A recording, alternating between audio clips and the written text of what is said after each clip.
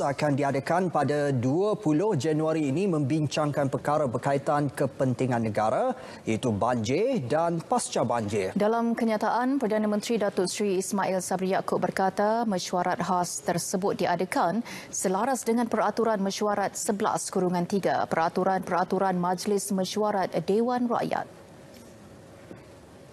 Mesyuarat turut menumpukan isu penyelarasan bantuan kepada keluarga Malaysia dan perancangan jangka panjang pengurusan bencana banjir.